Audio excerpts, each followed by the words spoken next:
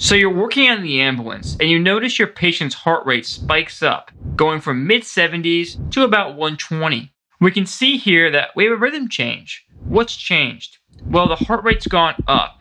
We can see here we're in sinus tachycardia. So we want to start thinking, is there is there fever? Is there infection? Is there anxiety? Is there fear going on? Is the patient losing blood? Right? What's the blood pressure in this patient, right? So we know that one of the first signs of shock is going to be an elevated heart rate. So these are some things we think about when we see a patient with an elevated heart rate in the ambulance like sinus tach.